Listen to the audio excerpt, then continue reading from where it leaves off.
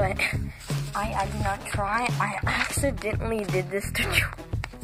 My art has actually approved right now, this time. Cece's completely different. Pennywise is different. He looks more like a Cece vibe in here. This is my old art from like hours ago. My old art. Richie, for instance. This is Richie. See? It's kind of, the eyes are different. And here's now. Just put, put, just put CC there. Like, go to my other channel and look at my Jester slash Clown sees all of them, except for one. At least I could never draw him for my life. I don't know why. I think one day I will, but I gave Georgie the most vibe in the world. But I accidentally drew them.